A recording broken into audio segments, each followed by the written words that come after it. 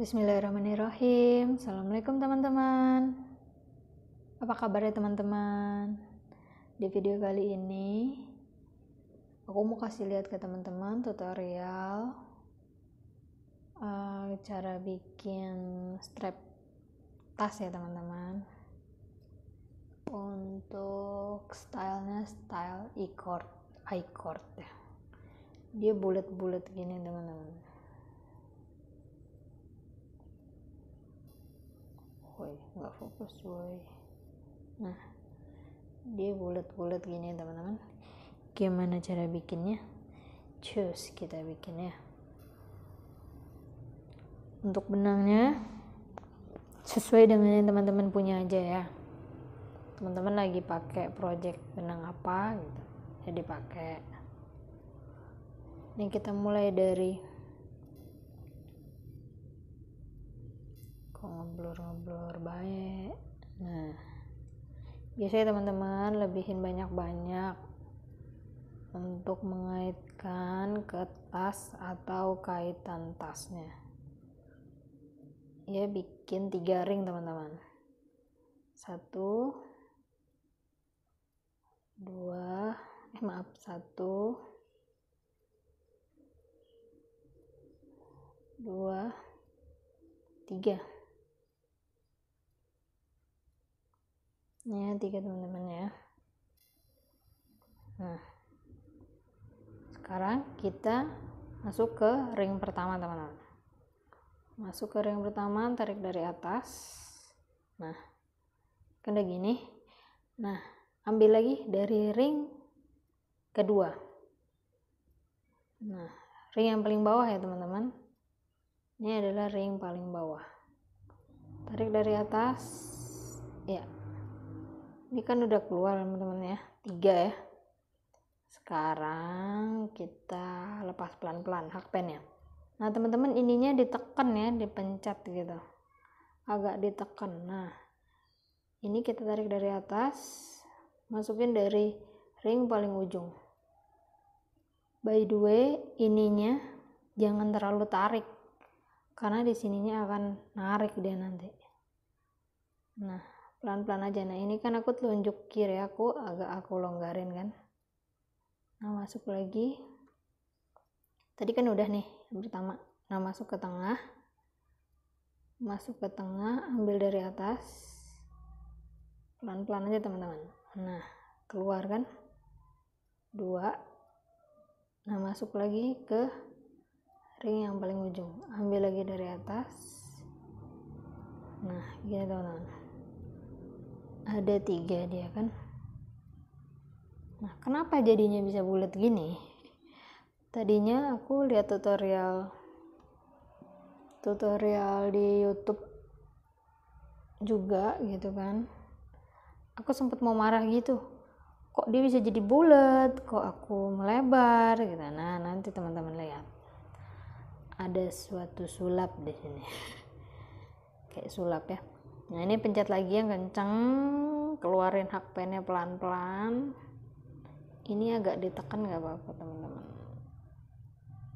Ambil dari ring ujung. Nah itu kan ketarik kan yang ini kan kalau kita yang telunjuk kirinya agak neken jadi dia ketarik teman-teman.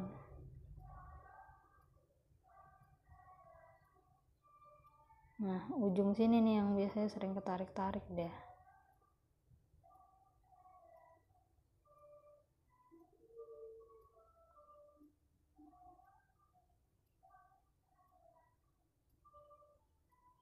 nggak apa-apa agak kerut ya teman-teman.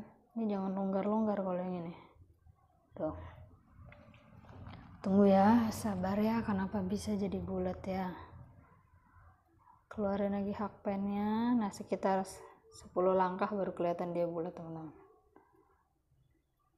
Bayangkan kita bikin kayak gini sebulan eh sebulan 90 cm teman-teman jadi ini nggak bisa banget buru-buru ya. Bener-bener pelan-pelan banget bikinnya tuh. Karena kalau buru-buru jadinya bener-bener beda-beda gitu teman-teman. Ini agak dipegang kenceng nggak apa-apa nih agak ke keret-keret kalau yang ini. Tuh kan dia agak rapat-rapat nggak apa-apa teman-teman kalau yang ini pegang lagi yang kenceng hakpennya eh hakpennya benangnya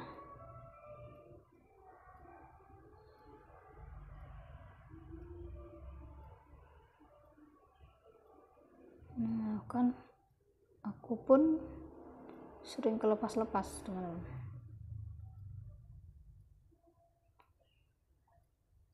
Nah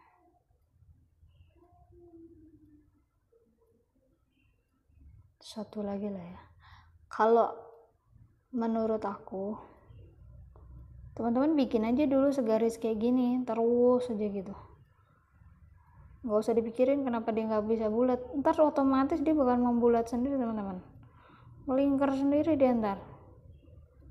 Kalau teman-teman duluan dari awal udah ngebuletin itu jadinya susah banget nyari simetrisnya. Jadi agak rumit.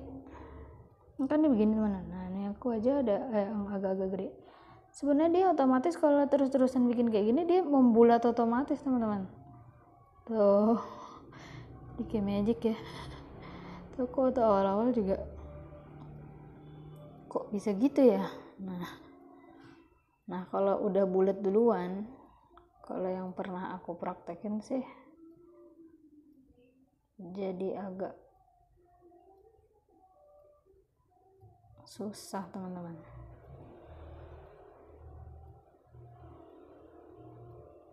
Kan tenggelam-tenggelam yang ujung.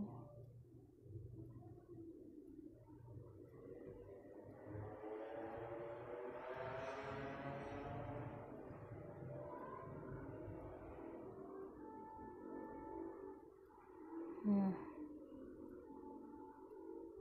tuh gitu ya teman-teman ya agak karat-karat yang ini nggak apa-apa teman-teman. Jadi ruas-ruasnya itu bisa sama gitu. Kalau longgar-longgar nanti justru beda-beda. Nih bikin sepanjang yang teman-teman mau ya. Nih aku agak berudul.